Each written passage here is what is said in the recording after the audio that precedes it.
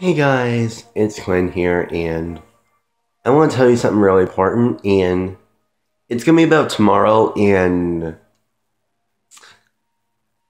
sorry, uh, and I have school tomorrow, and it's the last day of spring break for me, so I know it's kind of sad, but tomorrow we have school, and and hope summer can come really soon.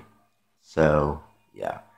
And also, I got glasses. Like, I got glasses like a week ago. So, so if you wanted to see them, um, they're in my closet.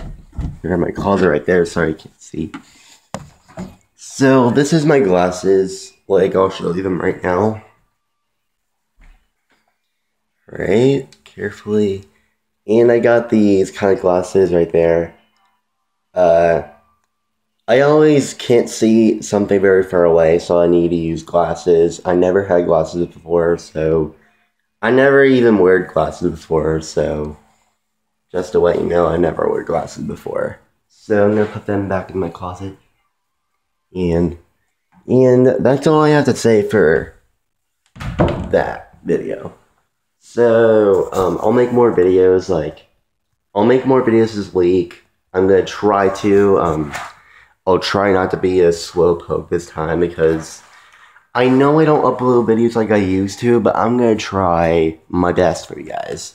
Please don't get mad at me. I'm just trying to make more videos for you guys.